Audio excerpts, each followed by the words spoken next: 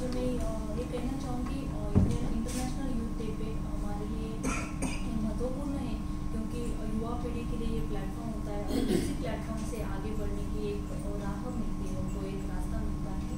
यहाँ पे हम लोगों को जो स्पोर्ट्स के बारे में भी बताना चाहूँगी कि आज कोरोना की वजह से जो वर्ल्ड के ऊपर जो एक बहुत बड़ा ये मिला आया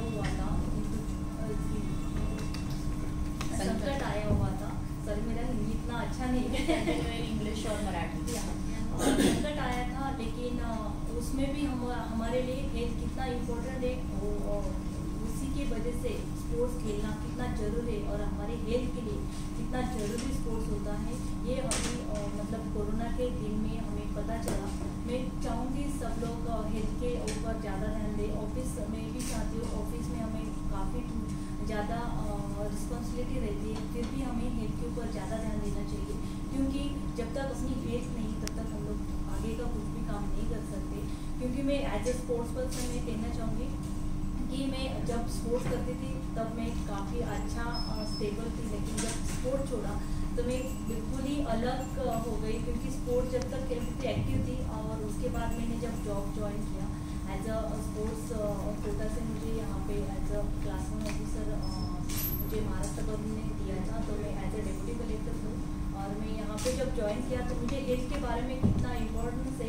जब मैं जॉब कर रही तब मुझे पता चला। तो मैं हमेशा हमारे स्टाफ को और हमारे जो भी मेरे कलीग्स थे, उनको भी मैं बोलती थी कि आपने भी स्पोर्ट्स के बारे में या अपने हेल्थ के बारे में थोड़ा बहुत अपने लिए टाइम निकालना चाहिए और हमारे ऊपर ध्यान देना चाहिए। जब तक हमारा फिटनेस नहीं रहेगा, तब तक हम लोग कुछ भी काम नहीं कर सकते।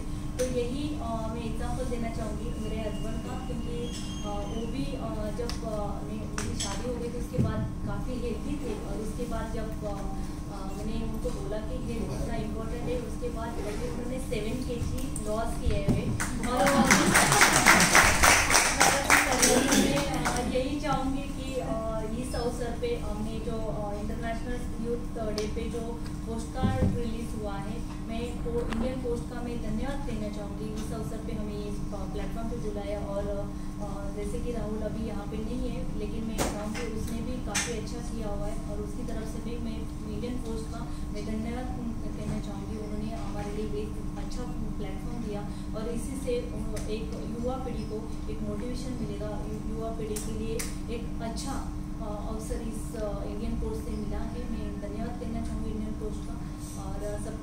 पे मुझे ये प्लेटफॉर्म भी बुलाया इसलिए मैं